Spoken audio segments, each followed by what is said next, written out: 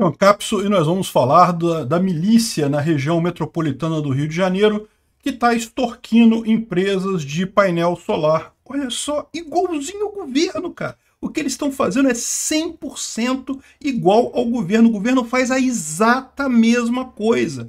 Vamos entender o que é esse assunto aqui, o que está acontecendo aqui na região do entorno do Rio de Janeiro, com placas solares e coisa e tal, e como é que a milícia está agindo ambas as milícias. A milícia grande, que é o governo, e a milícia pequena, que é dos caras lá da região, né?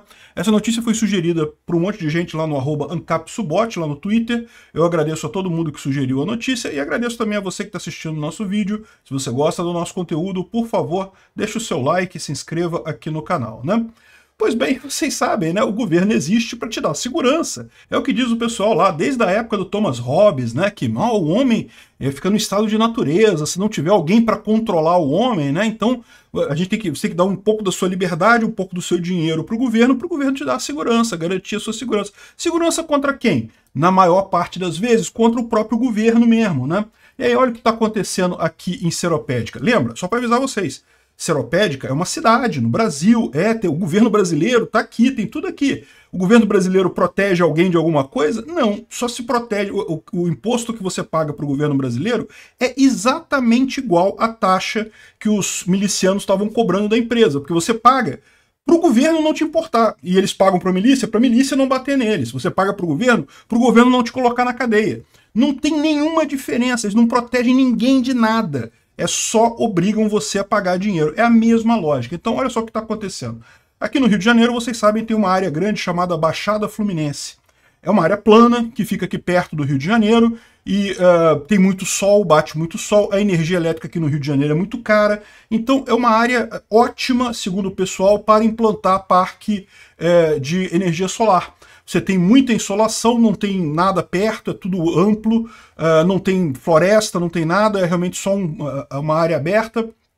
E aí, uma grande multinacional decidiu fazer uma. uma uh, instalar um parque desse de usina termoelétrica ali na região de Seropédica, né? E o pessoal estava doido para lá, porque seria ideal do ponto de vista da, da geografia e coisa e tal. É, só que o pessoal ficou preocupado. Por quê? Porque chegou ali tinha a milícia ali na região. E a gente não está falando, nesse caso, da milícia grande, do governo. O governo também está na região. O governo também extorquiu a empresa do mesmo jeito, né? Mas a reportagem aqui, por algum motivo, reclama só da milícia pequena, não reclama da milícia grande. Olha só, aí o cara fala aqui que é, é, em condição de anonimato, eles contam que é inviável empreender ali sem pagar uma mensalidade aos criminosos em troca de segurança. Igualzinho em qualquer lugar do Brasil, meu amigo. Vai você abrir uma empresa e não pagar os criminosos de Brasília para você ver o que, que, acontece. Te botam na cadeia, te sequestram, te botam num canto lá, tiram dinheiro da sua conta. É, os criminosos da máfia grande, né, da, da milícia grande, são ainda piores que os da milícia pequena. Porque da milícia pequena, bem ou mal, eles não conseguem tirar o dinheiro da sua conta. Os da milícia grande, eles tiram o dinheiro da sua conta direto, rouba mesmo. Aqui, ó. e, e, o papo, não, porque tem que pagar em troca de segurança do local. É o que eu falo. É o mesmo papo do governo federal. Ele fala que te dá segurança, te dá segurança porcaria nenhuma. É, te dá segurança contra ele mesmo. Se você pagar os impostos todos, ele jura que não vai te sequestrar. Isso se ele não ficar chateado com você por outro motivo. Se ele ficar chateado com você por outro motivo, ele te sequestra também, né?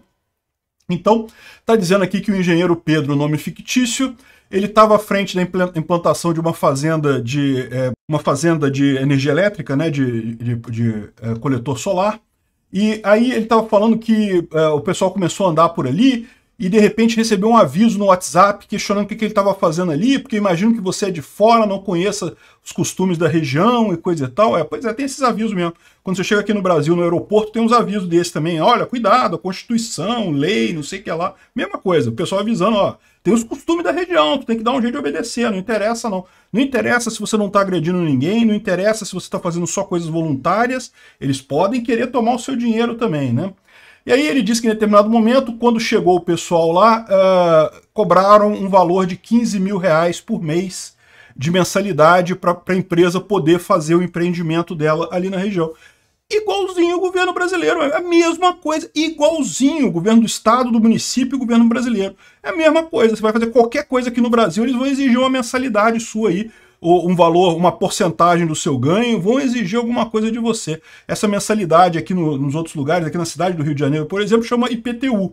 Em outros lugares aí chama ITD. É a mesma coisa. E do mesmo forma, eles falam assim, não, que isso é para te garantir a sua segurança e coisa e tal, mas porra nenhuma, se você for roubado, eles não estão nem aí para você, se você for morto, eles não estão nem aí para você, eles não te garantem segurança nenhuma.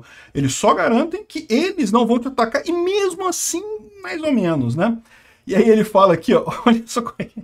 Eu acho engraçado isso, né? Porque o pessoal do Globo aqui estão tão imbuídos do espírito estatista de que não, o Estado é uma coisa, a milícia é outra. Eles não percebem que eles descrevem exatamente o que o Estado faz.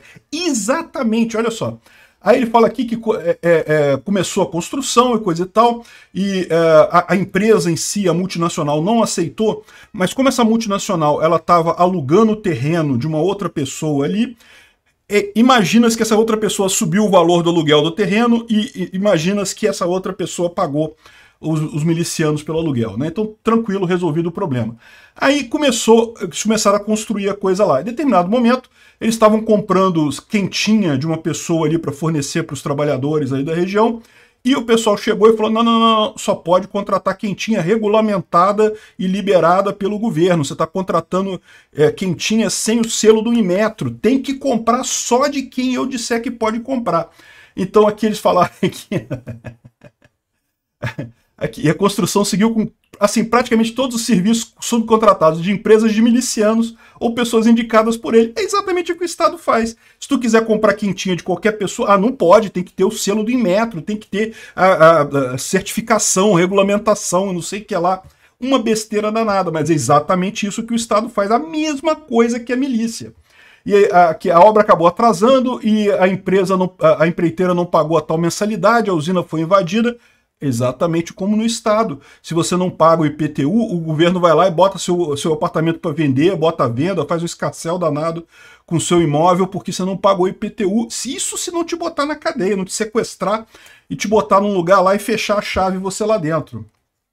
Aí, aqui, teve uma outra, uma outra situação que a pessoa foi tirar foto de, de, de drone, né? Então a empresa contratou uma pessoa para tirar foto de drone do empreendimento. Não, não pode, tem que contratar a empresa regulamentada aqui da nossa região, aqui, ó. Só a gente que permite as pessoas trabalhar. Cara, é exatamente isso no estado.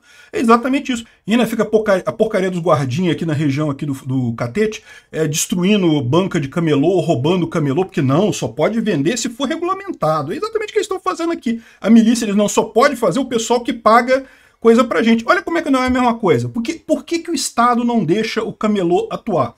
Porque o camelô não paga imposto, o cara da loja paga imposto. Aí o que, que faz o Estado? O Estado fala, não, você não pode comprar do camelô, que não está regulamentado comigo, que não está comigo, tem que comprar dos caras que me banca.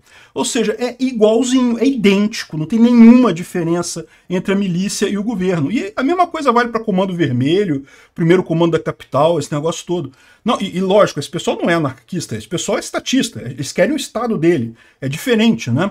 E por isso também que eu não acredito em secessão. O pessoal tem muito, muito libertário que acha que secessão é lindo. Não, secessão porra nenhuma, secessão de cu é rola, porra. Tá cheio de Estado menor aí que é mais autoritário ainda do que o Estado maior. Eu quero é zero Estado. Secessão só se for individual. E é, o ideal é você ter múltiplos governos que você pode contratar. E é, é, a segurança, o governo que te fornece segurança, não necessariamente está naquela região. Então imagina que, por exemplo, houvesse uma empresa de segurança aqui no Rio de Janeiro que você pudesse contratar e ela fornecesse segurança no prédio na região que você está. Mesmo que poderia fazer isso, ao invés de contratar, de pagar os 15 mil para o cara, ao invés de pagar o IPTU para o governo, paga para essa empresa de segurança e ela garante que nem o pessoal miliciano, nem o governo vai invadir a sua área ali, sendo que o seu contrato é voluntário. Você paga pela segurança, mas você pode comprar outra empresa. Se você pode escolher, você busca preços melhores. Né? E qual que é a vantagem disso? A vantagem disso é que essas empresas tendem a ser menos violentas. Por quê? Porque ela quer é, ganhar o cliente, ela quer que você escolha aquela empresa, ela não quer forçar você a isso, né? Enfim, é isso daí, olha só, igualzinho o governo. Eu fiz um vídeo lá no meu outro canal, no Ancapsu Classic, em que eu sacaneava, eu fazia graça de uma repórter da Globo que falava esse negócio também, ela ficava criticando a milícia. Não que a milícia cobra dos, dos, dos, é, dos moradores da região até um IPTU. Até se confundiu, né? A mesma coisa que o governo faz, né? Exatamente a mesma coisa. As pessoas não percebem que é a mesma coisa. Obrigado por assistir o vídeo até o final. Além de curtir, compartilhar e se inscrever no canal, considere se tornar patrocinador com valores a partir de R$ 1,99 clique no botão Seja Membro abaixo para saber as condições e vantagens de patrocinar o canal. Mais informações sobre o nosso projeto, visite nossos sites indicados na tela.